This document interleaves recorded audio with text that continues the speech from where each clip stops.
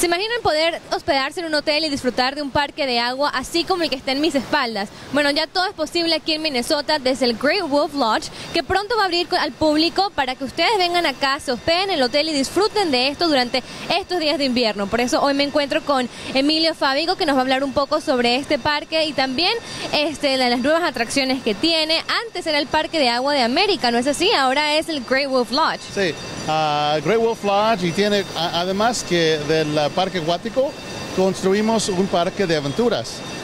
Y, tiene, por ejemplo, pared de piedras para escalar, uh, curso de cuerdas y además otra aventura que se llama Magi Quest, que los huéspedes pueden usar una barra mágica para descubrir aventuras por todo el hotel. Y también aquí desde Great Wolf Lodge están buscando, están contratando un nuevo personal para que venga y trabaje este, en diferentes posiciones, ¿no es así? Exacto, vamos a abrir en diciembre y aunque tenemos un grupo ahorita, todavía estamos solicitando empleados uh, por todas las posiciones aquí en hotel dónde y cómo las personas interesadas pueden ir a aplicar. Sí, pueden venir aquí al hotel o también pueden ir en, eh, internet a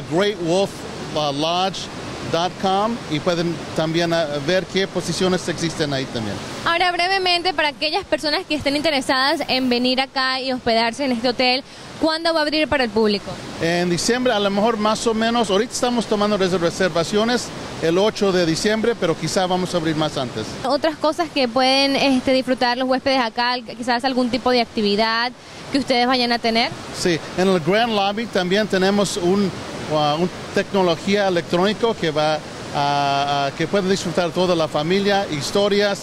También tenemos uh, characters que también andan por el hotel con los guías. Lo ventajoso de esto es que es adentro y se puede disfrutar en el invierno, en el verano, en cualquier, en cualquier temporada del año. Sí, siempre está a 85 grados dentro del uh, uh, parque de acuático. Bueno, es que sí, sí se siente, de verdad que yo debo decir que es una temperatura bastante agradable y que todo lo que hemos visto hasta ahora se ve bastante divertido y algo bastante familiar que lo pueden disfrutar todos en casa. Muchísimas gracias, Emilio, por esta entrevista.